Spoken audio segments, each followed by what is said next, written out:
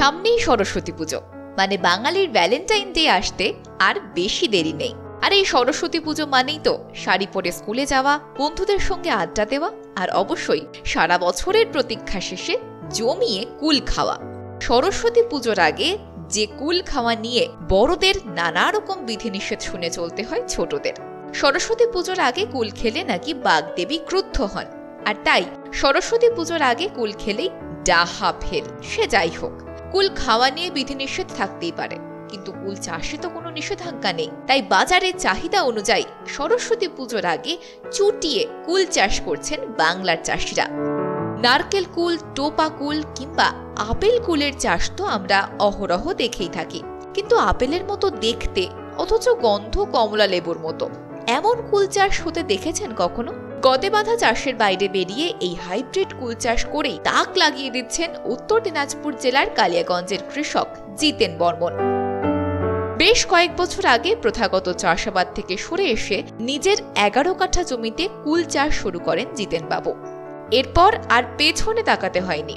Advance কুল, কাশ্মীরি কুল, নারকেল কুলের পাশাপাশি নিজস্ব তেরো কাঠা জমিতে সব মিলিয়ে প্রায় চার প্রজাতির কুল চাষ করেছেন জিতেন বাবু আর সামনের বছরে এই গাছটা যখন আমি কেটে দিব হ্যাঁ সামনে থেকে শাখা প্রশাখা অনেক বার হবে এটার মধ্যে ষাট কেজি সত্তর কেজি মিনিমাম আসবে। সামনের বার আসবেন অবশ্যই আমি বলব। এই ফলগুলো কীভাবে বিক্রি করে এবং কারা নিয়ে যায়? এটা বাইরে থেকে নিয়ে যায়। আবার আমাদের রায়গঞ্জ কালিয়াগঞ্জ হ্যান্তাবাজ বালুঘাটে আবার মনে করেন যে ফতপুর এই যে ডালিমগা এই এরিয়া এরিয়ার মধ্যে বেশিরভাগ পাইকাররা এসে নিয়ে যায়। আমার গতবার ছিল কাশ্মীরি আপেল কুল এগারো কাঠার মধ্যে সামনে একটা বাগান আছে। ওই বাগানের মধ্যে এগারো কাঠার মধ্যে একশো এগারোটা গাছ আছে। আর এইখানে নতুন আমি এটা আবার এই বছরে আমি নতুন করেছি এই বাগানটা। এই বাগানটা যেহেতু আমি নতুন করেছি, এটার মধ্যে তেরো কাঠার মধ্যে নব্বইটা গাছ আছে।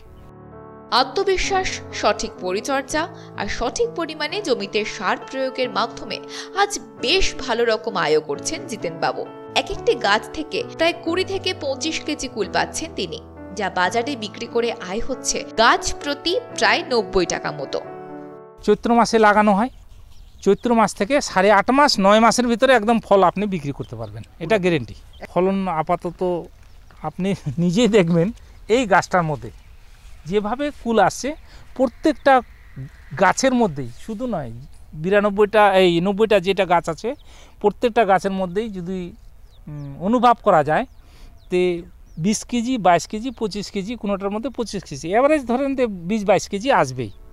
যারা নিজস্ব ছোট জমিতে চাষাবাদ শুরু করার প্ল্যান করছেন কিংবা যাদের বেশ খানিকটা জমি অযোগ্য অবস্থায় পড়ে রয়েছে তাদের উদ্দেশ্যে কি বার্তা দিলেন জিতেন বাবু ছোটোখাটো যে জায়গায় ফাঁকা জায়গা আছে যদি পড়ে থাকে ছোটো মোটো গাছ যদি আপনি না লাগায় এই কুল চাষ যদি আপনি করেন আশা করি যেভাবে মার্কেট আছে, আপনি যদি বেশি না বিশ টাকাও দরও যদি পান, তাহলে একটা গাছে যদি আপনি বিশ টাকা দরে যদি বিক্রি করেন, একটা গাছে যদি হাজার টাকা আসে, হাজার টাকা যদি আসে, একশো টাকা যদি আপনার থাকে, তাহলে লক্ষ টাকা আপনার বছরে আসবেই।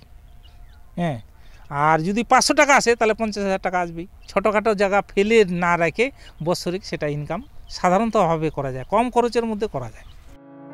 গতে বাঁধা চাষের বাইরে বেরিয়েও সঠিক প্ল্যানিং করে এগোলে যে সফল হওয়া যায় তা প্রমাণ করে দেখিয়েছেন কালিয়াগঞ্জের এই কৃষক।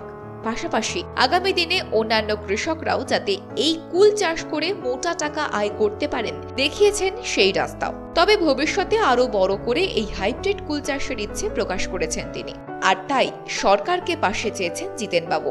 ছোট জমিতে মোটা টাকা আয়ের একটা দারুণ উপায় যে এই হাইব্রিড কুল চাষ, সেটা আর বলার অপেক্ষা রাখে না। তবে সব দিক বিচার করে সরকার কোনো রকম সাহায্যের হাত বাড়ান কিনা, এখন সেটাই দেখার। উত্তর দিনাজপুর থেকে অনুপ জয়সওয়ালের রিপোর্ট বিজনেস প্রাইম নিউজ